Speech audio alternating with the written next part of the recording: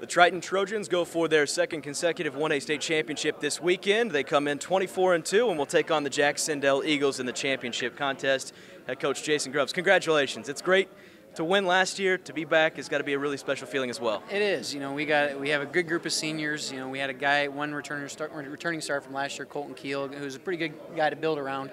Um, you know, but our, you know, the guys that waited patiently behind that, you know, I'm so proud of those guys because you know when they got their opportunity, they really stepped up and and you know they, they've done a great job.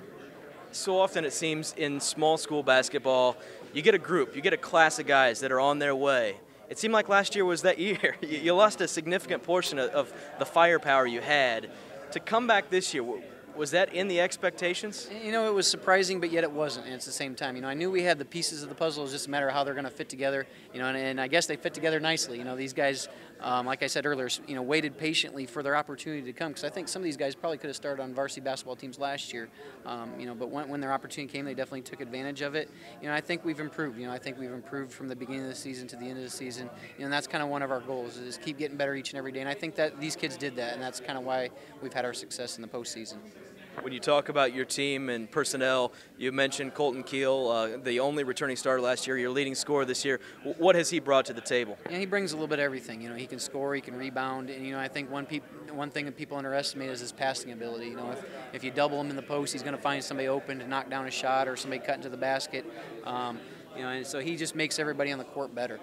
Talking about some of those other players that have replace those starters gone from last year? Who have those guys been? Uh, you know, it starts with our point guard Ben Montabeno. You know, he was uh, on the JV all of last year. You know, played very limited in the postseason. You know, but he does a great job running our offense. You know, he's very quick, uh, very quick off the dribble. Um, you know, does a great job. You know, running the offense, setting up the defense um, with his quickness. And we have Joel Meister. You know, I think he's our third leading scorer. He's kind of a slasher. He's our best defender. Always guards the our team's best best player. And uh, Griffin Carpenter. Griffin Carpenter played. You know, hit a crucial shot in last year's state tournament as a freshman. And you know, he kind of, you know, kept carrying it on right from there because he's he's knocking down a lot of threes this year. That's for sure. Let's talk a little bit about your tournament run. The Triton Sectional has proven to be one of, if not the most difficult in 1A. I believe now two straight years, if not three straight years you've had a team here in the state championships. Uh, you made it through there. You uh, hosted the regional as well. Um, and then beating Lafayette Central Catholic by three points. You've had a couple of close contests here in the last couple of games, but talk a little bit about this tournament run. It's been it's been fun, that's for sure. You know, it's exciting, a lot of exciting games. Uh, know, our sectional we had to play Argos, which is one of our, our, rivals in the season anyway. So, you know, that that's always a tough game, no matter when that is, where it is.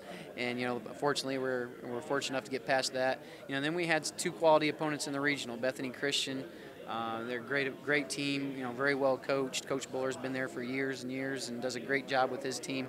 You know, fortunately, we were able to win that, and then we played Bowman Academy, who is unbelievably talented, and and you know, but our kids, I think, just refused to lose that game. You know, they were really focused.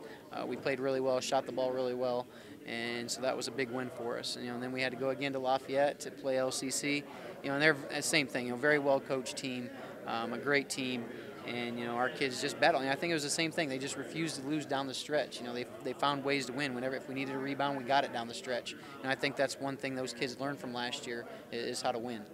And finally, your opponent, Jac-Cen-Del. They're a senior-laden group do you know much about them and how this game should play out? You know, and I don't yet. You know, that's one thing. We're getting tapes today, and we're, we're going to be hunting down more tapes. And I'm on spring break this week, so I get to watch. You know, my family's down in Florida, and so I'm going to be home by myself. I'll be a bachelor for this week and sit there and watch tape, game tape, and I'll have a lot of time to do that and learn about them. You know, but from what I understand, they're very long. They're, they remind me of last year. From what I understand, our team last year, um, very long, have a lot of height, and so you know, that's that could be a, a concern for us because we're not very big.